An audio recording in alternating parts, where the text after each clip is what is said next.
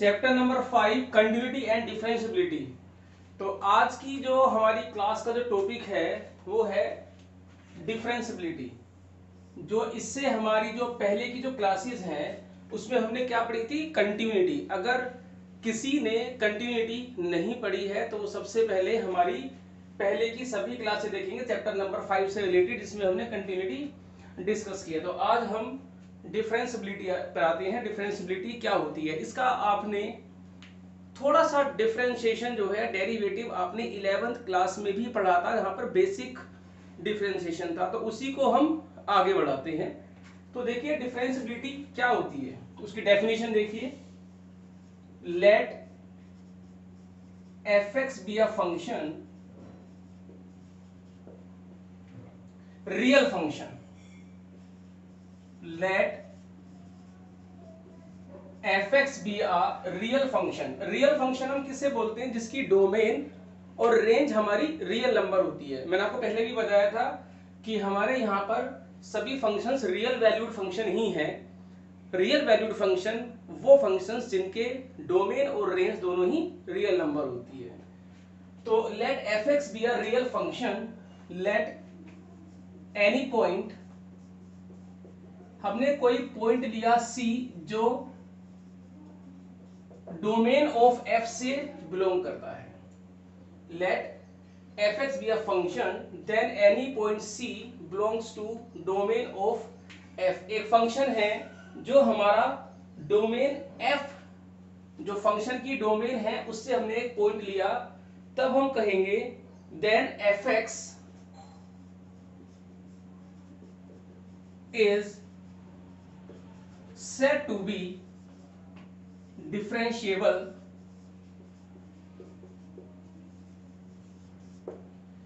then fx is said to be differentiable function or derivable or derivable at x is equal to c कोई function है हमारे पास real function है एक point सी है जो हमने इसकी डोमेन से उठाया है then fx is said to be differentiable or derivable if ये फ़ंक्शन हमारा डिफरेंशिएबल होगा डेरिएबल होगा at x is equal to c if and only if limit x tends to c fx minus fc upon x minus c is exist ध्यान से देखना कोई भी function हमारा डिफरेंशिएबल कब होगा? जब ये लिमिट हमारी एग्जिस्ट करेगी और हमने इलेवेंथ में पढ़ा था लिमिट कब एग्जिस्ट करती है? जब लेफ़्ट हैंड लिमिट और राइट हैंड लिमिट हमारी इक्वल होती है। उसके बारे में बाद में डिस्कस करेंगे। पहले अब ये देखिए, कोई फ़ंक्शन है हमारे पास, एक पॉइंट सी है हमारे पास डोमेन डोमेन की किसी भी पॉइंट पर अगर फ़ंक्शन डिफरेंशिएबल है तो ये लिमिट एग्जिस्ट करेगी। Limit x tends to zero f c minus fx minus fc upon x minus c is exist and finite ये कैसी लिमिट होगी हमारी? ये लिमिट हमारे पास होगी फाइनाइटली लिमिट फाइनाइटली तो अब हम इसको जो बोलते हैं हमारे पास then limit is called this limit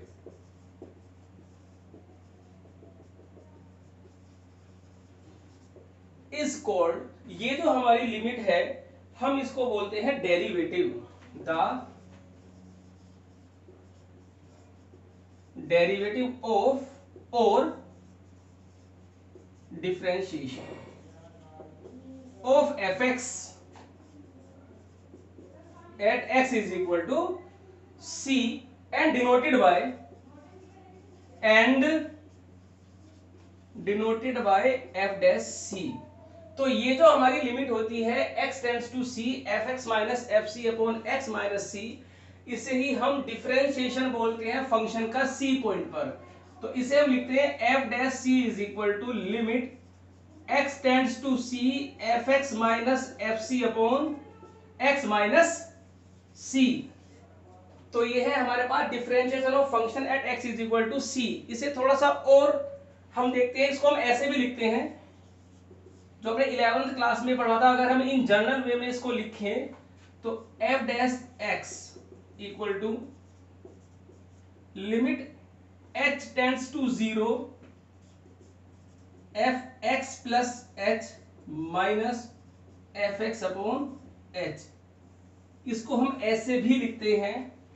ये तो पॉइंट सी पर हुई और ये किसी भी पॉइंट पर हुई। इसमें हम सी पुट करेंगे तो इसी के इक्वल आएगा। इट मींस मैं इसको ऐसे भी लिख सकता हूँ।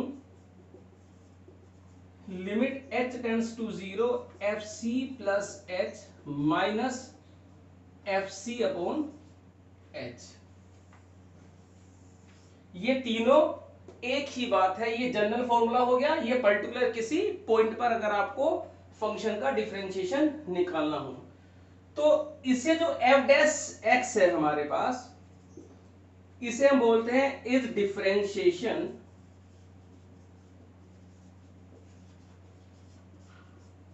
of f x इसको हम डी वाई बाई डी से भी डिनोट करते हैं। मतलब एफ़ डैश एक्स को हम डी वाई बाई डी भी बोलते हैं और इसे हम वाई डैश से भी डिनोट करते हैं। तो ये हमारे फ़ंक्शन की डिफरेंशियबिलिटी की डेफिनेशन है। कोई भी फ़ंक्शन डिफरेंशिएबल होगा, किसी भी पॉइंट पर अगर f dash c is equal to limit x tends to c f x minus f c upon x minus c मैंने यहाँ पर एक वर्ड लिखा है लिमिट एग्जिस्ट फ़ंक्शन की जो लिमिट है, वो एग्जिस्ट करेगी। तो इसको मैं अभी डिस्कस करता हूँ। पहले आप वीडियो को पोज करके इसे नोट करिए।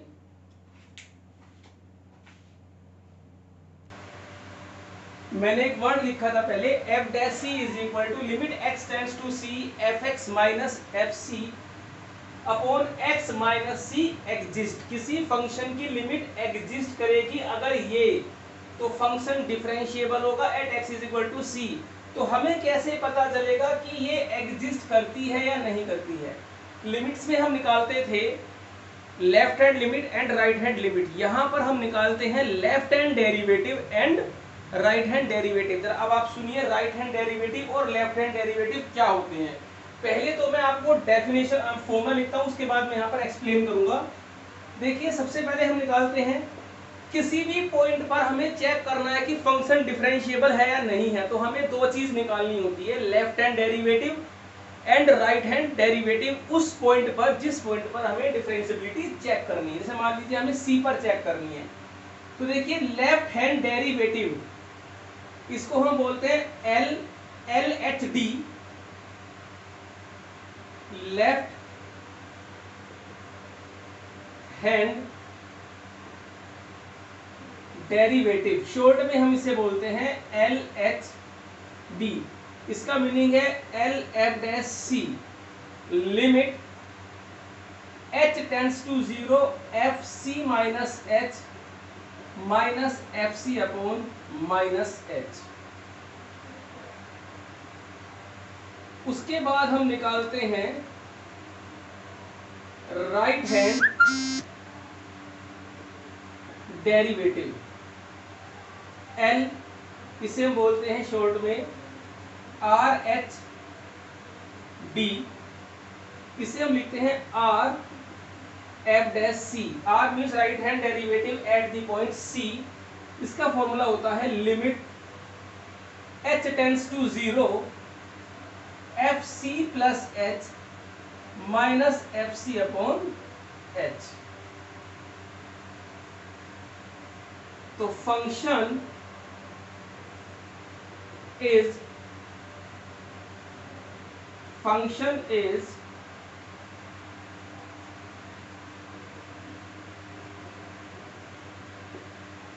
the function is differentiable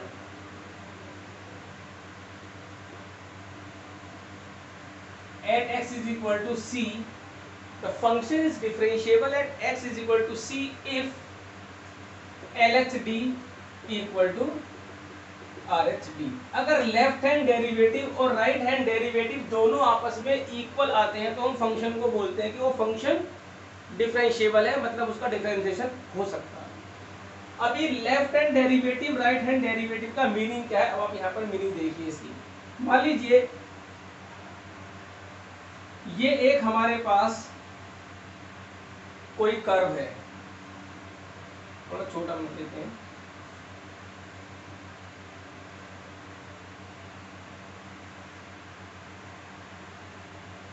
ये है हमारे पास एक पॉइंट सी सी पर ये जो वैल्यू है हमारे पास, ये हमारे पास एफ़ सी थोड़ा सा डिफरेंस छोड़ करके मीन्स एच लेंथ छोड़ करके हमने एक पॉइंट लिया यहाँ पर C प्लस एच तो C प्लस एच पर जो हमारी वैल्यू होगी फ़ंक्शन की, वो होगी एफ़ सी प्लस एच तो ये है हमारे पास एक पॉइंट ए एक पॉइंट बी इस ए पॉइंट के कोऑर्डिनेट क्या होंगे? इसका एक्स कोऑर्डिनेट तो है हमारे पास सी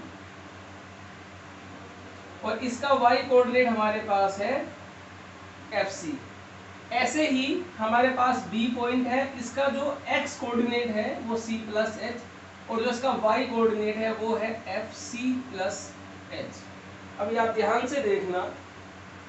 अगर मैं इसको मिला देता हूँ ए बी तो हमने इलेवेंथ क्लास में पढ़ा था स्लोप ऑफ़ कोड ए बी। इस ए बी कोड का स्लोप क्या आएगा? Y two minus y one upon x two minus x one it means y two f c plus s और वाई वन हमारे पास है एफ़ सी ये हो गया y two x two y two x one y one upon, ये हमारे पास हुआ c plus h minus c c से सी हमारे पास कैंसिल हो गया। अभी आप वीडियो को पोज करके नोट करिए। आगे चलते हैं फिर। तो जो स्लोप ऑफ़ ए बी आया हमारे पास स्लोप ऑफ़ कोड A B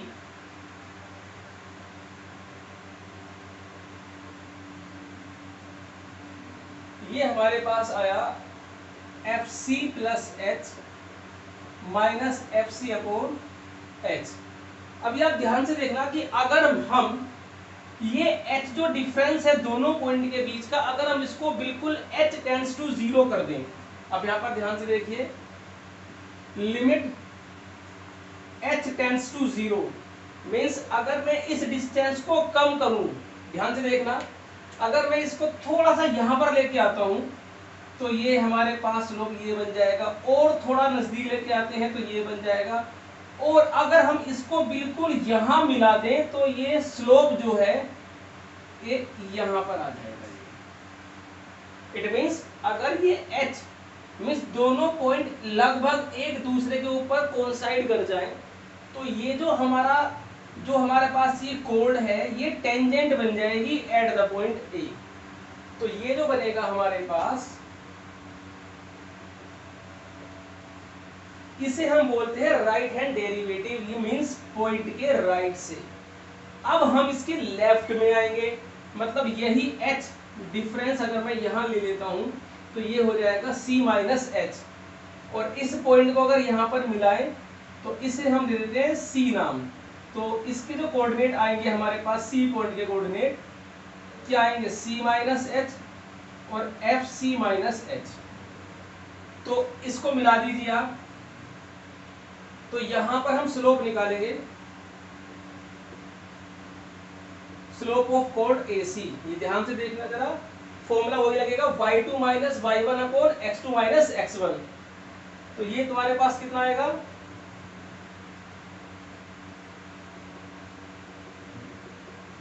Upon c minus h minus c c से सी कैंसिल हो गया।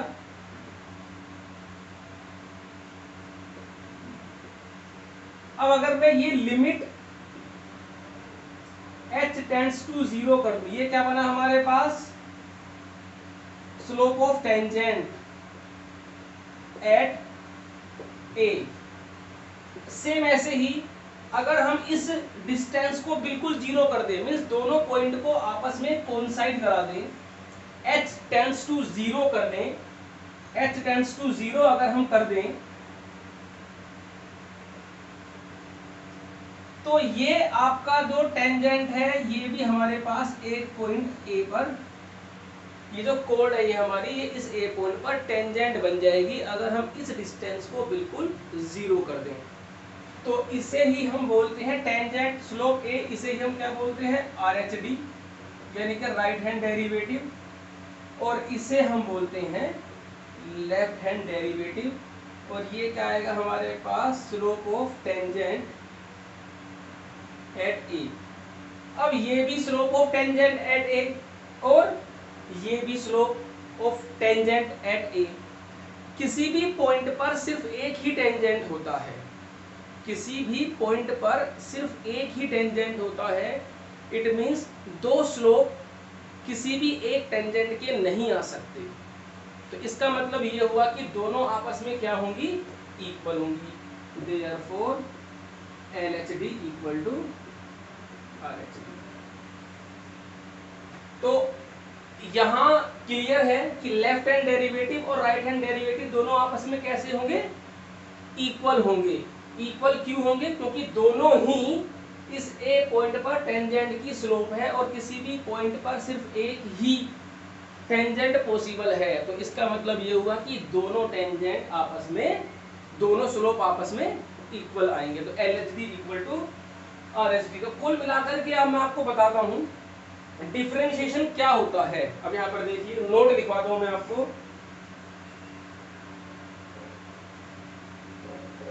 Differentiation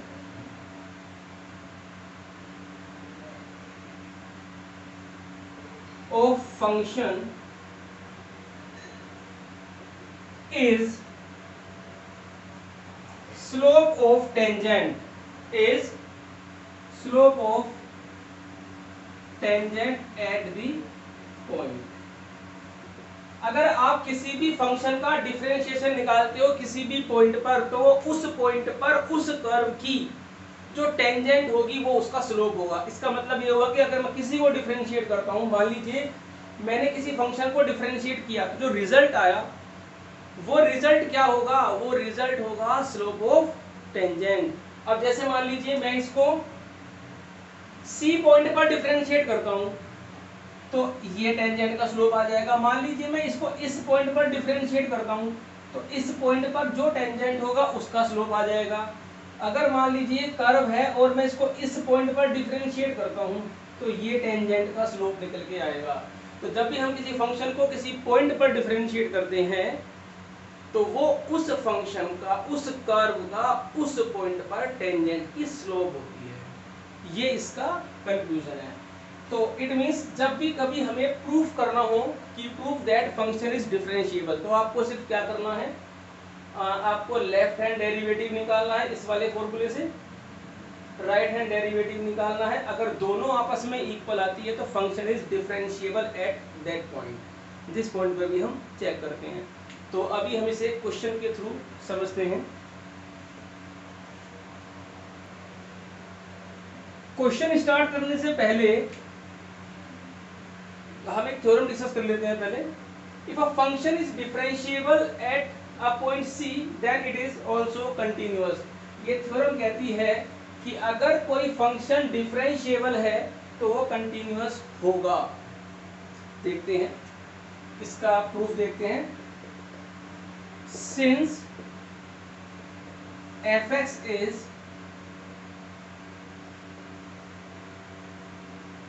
differentiable differentiable है x is equal to c जब कोई फ़ंक्शन डिफरेंशिएबल होता है तो एफ़ डैश सी मतलब limit x tends to zero f x minus f c upon x minus c किसके इक्वल होता है? एफ़ डैश सी के इक्वल होता है। जी, हमें फ़ंक्शन को प्रूव करना है कि वो कंटिन्यूस है। तो कंटिन्यूटी पे जाइए कि अगर कोई फ़ंक्शन कंटिन्यूस होता है f x is continuous at x is equal to c तो limit x tends to c f x is equal to f c आता है। फ़ंक्शन कंटिन्यूस कब होता है? जब उसकी लिमिट एग्जिस्ट करती है और वो उस फ़ंक्शन की वैल्यू के इक्वल होती है। ये डेफिनेशन थी हमारे पास। तो इट मीन्स हमें ये प्रूफ करके दिखाना है। चलो देखते हैं प्रूफ करके। अच्छा एफ़ एक्स को क्या मैं लिख सकता हूँ? मैंने एफ़ एफ़ सी माइनस कर दिया और एफ़ सी हमने प्लस कर दिया। यहाँ तक मैं समझता हूँ कोई प्रॉब्लम नहीं है। प्लस किया है तो माइनस भी कर दिया। अब आप देखिए।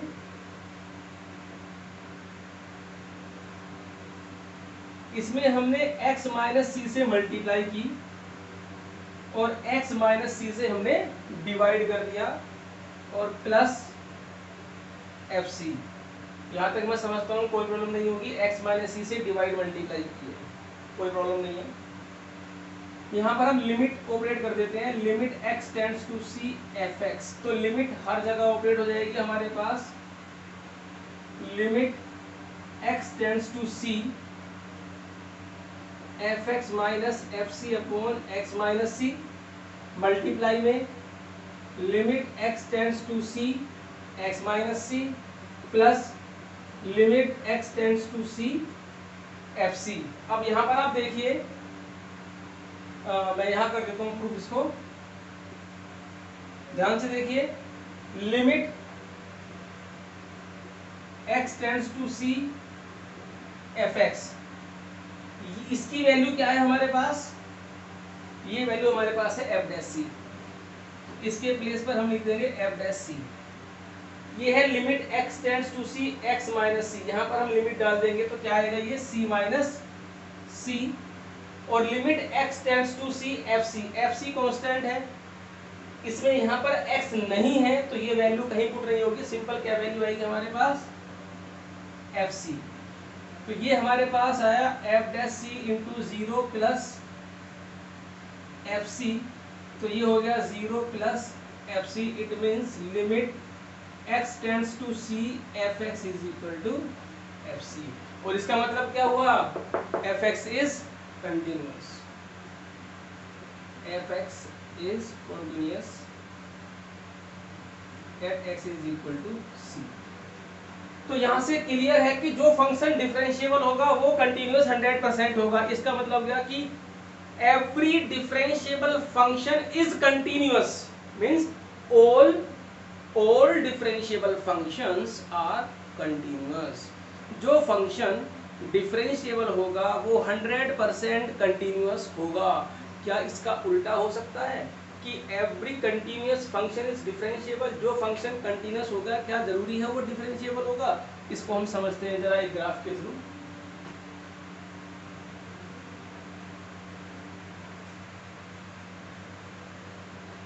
देखिए ये हमारे पास y is equal to mod x modulus function हमेशा डिफरेंशिएबल होता है। तो जो ये है इज़ सॉरी इज़ कंटिन्यूस जो मॉडुलस फ़ंक्शन होता है, वो ऑलवेज कंटिन्यूस होता है। इज़ यहाँ पर देखिए, y equal to mod x is continuous function but mod x is not differentiable. At x is equal to zero. X equal to zero पर फ़ंक्शन डिफरेंशिएबल नहीं है। आप इसकी लेफ़्ट हैंड डेरिवेटिव और राइट हैंड डेरिवेटिव निकाल के देख सकते हैं। अभी निकालेंगे, फ़िलहाल मैं समझा रहा हूँ आपको। लेकिन डिफरेंशिएबल का मतलब ये हुआ कि ज़ीरो पर इस फ़ंक्शन का टेंजेंट एग्जिस्ट करेगा। ध्यान से देखना टेंजेंट कहाँ पर एग्जिस्ट करता है?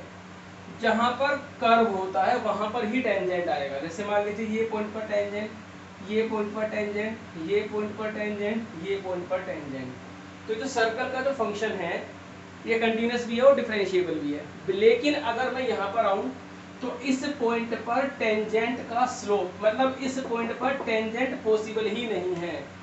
क्या बनाओगे आप? बताइए टेंजेंट आप बनाने की कोशिश करोगे? इस पॉइंट से टच होने वाली लाइनें। मैंने एक ये बनाई, एक ये बनाई, एक ये बनाई, एक ये बनाई, एक ये बनाई। मैं इनफाइनाइट लाइंस में ड्रॉ कर सकता हूँ जो इस पॉइंट को टच करेंगी। तो क्या वो सभी टेंजेंट होगी? क्योंकि टेंजेंट किसी भी पॉइंट पर सिर्फ़ एक ही होती है, एक से ज़्यादा नहीं हो सकती। तो यहाँ पर इस zero x equal to zero पर मॉडुलस फ़ंक्शन डिफरेंशिएबल नहीं है। अभी हम चेक करेंगे, ये सिर्फ़ मैं समझाने के लिए आपको बता रहा हूँ। तो यहाँ से एक नोट निकल के आता है number at all differentiable function are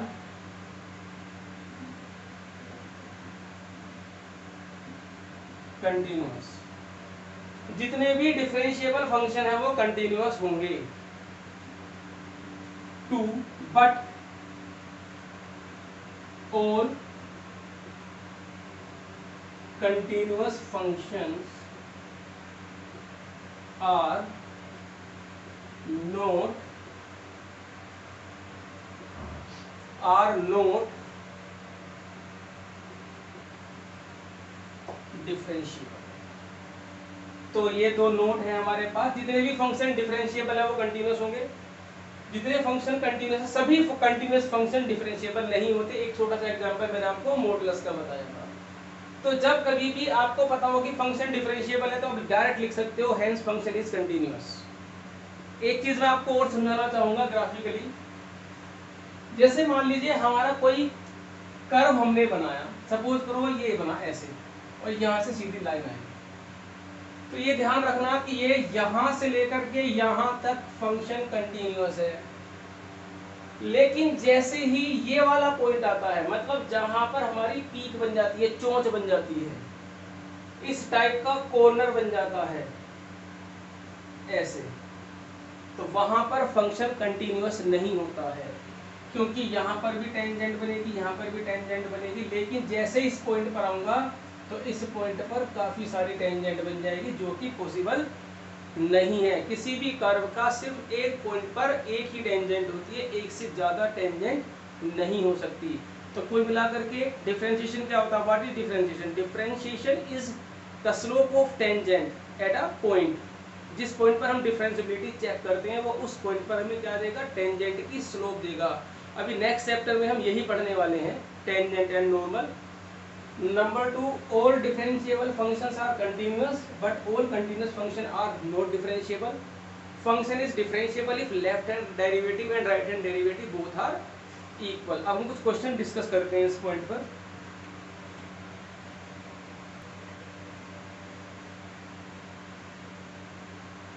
NCERT 5.2 point exercise में हमारे पास दो ही क्वेश्चन है नाइन और टेन नाइन क्वेश्चन और टेन क्वेश्चन डिफरेंशियबिलिटी चेक करने के लिए है। बाकी हम इसके कुछ क्वेश्चंस एक्स्ट्रा एग्जाम्पलर और कुछ हेल्प बुक से हम भी डिस्कस करेंगे, क्योंकि तो दो क्वेश्चन से हमारा काम नहीं चलेगा।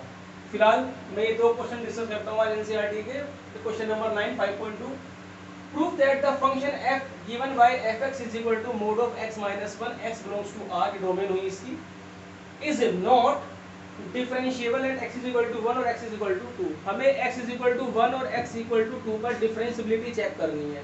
तो मैंने आपको बताया था दो पॉइंट है लेफ़्ट हैंड डेरिवेटिव और राइट हैंड डेरिवेटिव निकालेंगे। सबसे पहले है left hand derivative at x is equal to one देखिए फॉर्मूला देखिए यहाँ पर। Limit h tends to zero मतलब एल एच डी जो हम निकालते हैं limit h tends to zero f one minus h minus f one upon minus h जो मैंने आपको फॉर्मूला लिखवाया था h tends to zero f c minus h minus f c upon minus h अब आप ध्यान से देखिए यहाँ पर। जो ये मॉडुलस फ़ंक्शन है हमारे पास, इसकी सबसे पहले आप डेफिनेशन लिखेंगे। X माइनस वन और minus x minus one if x greater than equal to one if x less than one पर यहाँ से आता है, x minus one equal to zero x equal to one अभी यहाँ पर आप देखिए वन में से माइनस करोगे तो वन से छोटा आएगा तो यहाँ पर वैल्यू पुट होगी। तो ये जो वन माइनस एच है, ये यहाँ पर डलेगी। तो क्या आएगी value minus bracket one minus h minus one bracket one अब वन में minus h f one f one यहाँ से निकलेगी एफ़ वन की वैल्यू सीधा एक्स की वैल्यू वन डाल दीजिए। तो ये तुम्हारा आएगा ज़ीरो। चलो, वन माइनस वन। तो अब ध्यान से देखिए। यहाँ वन से वन कैंसिल हो गया, ये ज़ीरो हो गया, माइनस माइनस प्लस एच ये आया माइनस वन। तो जो हमारे पास लेफ़्ट हैंड डेरिवेटिव है, ये माइनस वन आई। हम इसको ये भी लिखते हैं एल एफ़ डैश वन भी लिख सकते हैं।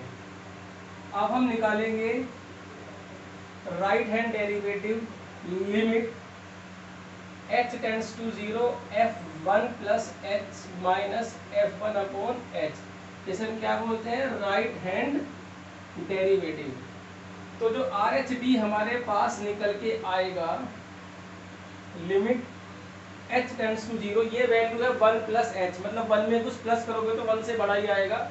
ये वैल्यू यहाँ पर डलेगी। तो ये आएगा हमारा one plus h minus one और एफ़ वन की वैल्यू वो भी यहाँ से निकल के आएगी। ज़ीरो। तो राइट हैंड डेरिवेटिव हमारा वन आया और लेफ़्ट हैंड डेरिवेटिव हमारा क्या आया? माइनस वन तो it means since left hand derivative is not equal to right hand derivative therefore f x is not differentiable at x is equal to one similarly आप check करेंगे x is equal to two पर। Same ऐसे ही आप x is equal to two पर left hand derivative और right hand derivative निकालोगे। तो वो अगर इक्वल आता है तो फ़ंक्शन हमारा डिफरेंशिएबल है और इक्वल नहीं आता है तो फ़ंक्शन डिफरेंशिएबल नहीं है। मैं आपको ग्राफिकली समझाना चाहता हूँ। एक बात यहाँ पर बताता हूँ। अगर हम ग्राफिकली से देखें, फ़िलहाल इसे वीडियो को पोज करके आप नोट ज़रूर कर लीजिए। थोड़ा ग्राफिकली भी समझते रहेंगे ग्राफ से कैसे होता है, क्योंकि जब नेक्स्ट चैप्टर पढ़ेंगे हम एप्लीकेशन ऑफ़ डेरिवेटिव तो सब इनकी एप्लीकेशन इनके यूजेस क्या क्या है डेरिवेटिव से हम क्या क्या चीज़ निकाल सकते हैं, वो सब आएगा। इसलिए थोड़ा सा इसको समझते भी चलें। देखिए ग्राफ अगर हम इसका बनाए मोड एक्स माइनस का ग्राफ आपने इलेवेंथ क्लास में बनाया होगा। ये जो मैं ग्राफ बना रहा हूँ, ये सोल्यूशन का पार्ट नहीं है, ये सिर्फ़ समझाने के लिए बना रहा हूँ, आप इसे मत बनाना। साइड में बना बना सकते हो, अपने नोट्स में बट ये सोल्यूशन का पार्ट नहीं है, ये आपको समझाने की पर्पज से बताया जा रहा है। इसका जो ग्राफ है ना, वो x इक्वल टू वन पर v बनेगा, आपने इलेवन क्लास में काफ़ी बनाए होंगे तो देखिए आप वन पर अगर आप चेक करेंगे तो यहाँ पर काफ़ी सारे पॉइंट आएँगे। V बन गया। इट मीन्स हमारा जो फ़ंक्शन है यहाँ पर वो डिफरेंशिएबल नहीं है। ग्राफिकली भी मैंने आपको समझा दिया है। और आप x is equal to two पर भी चेक करके देखेंगे कि फ़ंक्शन डिफरेंशिएबल है या नहीं है। तो पोज करके नोट करिए। नेक्स्ट टॉपिक देखते हैं। अब ये टू पॉइंट रह गया है हमारे पास। हालाँकि एनसीईआरटी में टू पर नहीं पूछा है, ये मैंने लिख दिया है वैसे तो। ये टू पर ये फ़ंक्शन हमारा डिफरेंशिएबल आएगा। क्यों? क्योंकि जो टू पॉइंट है हमारे पास, ये यहाँ पर आएगा और यहाँ पर कोई भी पीक नहीं बन रही है। मतलब कोई भी हमारे पास इस तरह की सिचुएशन नहीं है।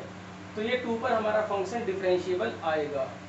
हालाँकि ये एनसीईआरटी में नहीं पूछा है, ये मैंने गलती से लिख दिया है, कोई बात नहीं। आप चेक कर सकते हो एक्स इक्वल टू टू पर फ़ंक्शन डिफरेंशिएबल ज़रूर आएगा ये। फ़िलहाल नेक्स्ट क्वेश्चन देखते हैं question number ten prove that the function fx given by fx equal to greatest integer of x is not differentiable at x is equal to 1 and 2 ये जो function है हमारे पास x is equal to one और two का differentiable नहीं है। आपको ध्यान होगा, हमने ये क्वेश्चन किया था कंटिन्यूटी में कि greatest integer function is not continuous at all integral points किसी भी इंटीग्रल पॉइंट्स पर हमारा जो मॉडुलस फ़ंक्शन है सॉरी ये ग्रेटेस्ट इंटीजर फ़ंक्शन जो है हमारे पास ये कंटिन्यूस नहीं होता है। जो फ़ंक्शन कंटिन्यूस नहीं होता है, वो डिफरेंशिएबल भी नहीं होता है। तो जब फ़ंक्शन कंटिन्यूस ही नहीं है तो डिफरेंशिएबल कैसे हो जाएगा? हालाँकि कंटिन्यूटी से हम ये लिंक मैंने आपको बनाया, लेकिन हमें चेक करनी है डिफरेंशिएबिलिटी तो हम लेफ़्ट हैंड डेरिवेटिव और राइट हैंड डेरिवेटिव से ही इसको प्रूफ करेंगे। सबसे पहले मैं टू पर मैं चेक करके दिखाता हूँ आपको। वन पर आप खुद साथ साथ कर सकते हैं। सबसे पहले हम निकालेंगे left hand derivative L F dash two limit h tends to zero F two minus H minus F two upon minus H limit h tends to zero two minus H आएगा आपका greatest integer of two minus H ये। Minus this upon minus H मैंने पहले भी आपको समझाया था कि ये जो ब्रैकेट है, ये वन आएगा। ये आएगा minus two upon minus H ये देखिए जरा, ये वन क्यों आया? टू माइनस एच जब टू में से कुछ माइनस करोगे तो ये वन पॉइंट समथिंग आएगा सपोज़ करो वन पॉइंट नाइन आ गया। मान लीजिए एच की वैल्यू ज़ीरो पॉइंट वन है। क्योंकि एच जो है हमारे पास पॉजिटिव होता है और अप्रोक्सीमेट ज़ीरो होता है टेंस टू ज़ीरो होता है। मीन्स अप्रोक्स ज़ीरो ही होता है, लेकिन पॉजिटिव होता है। तो मान लीजिए पॉइंट कुछ लोग पॉइंट वन मान लिया हमने। जब हम पॉइंट वन यहाँ पर डालेंगे तो वन पॉइंट नाइन आएगा और ये वैल्यू कितनी आएगी हमारे पास? वन तो इसीलिए ये वैल्यू हमारे पास कितनी आई है? One limit H tends to zero one upon H ये हमारे पास आया not defined one upon zero is not defined infinite अब हम यहाँ पर निकालते हैं इसके right hand derivative R H D ये होता है हमारा R F dash two formula हमारे पास होता है F two plus H minus F two upon H limit H tends to zero आएगा two plus H minus two upon H अब यहाँ पर ध्यान से देखना। ये तो टू आएगा हमारे पास। ये तो टू आएगा। टू प्लस एच का मतलब था टू पॉइंट समथिंग तो two point something two point one two point two two point three कुछ two point nine nine nine nine भी हो सकता है। लेकिन आएगा टू फिर टू से लेकर के और ओपन इंटरवल थ्री तक इसकी वैल्यू टू ही रहेगी। तो टू माइनस टू ज़ीरो और ज़ीरो अपॉन एच ज़ीरो तो left hand derivative it is not equal to right hand derivative तो F X is not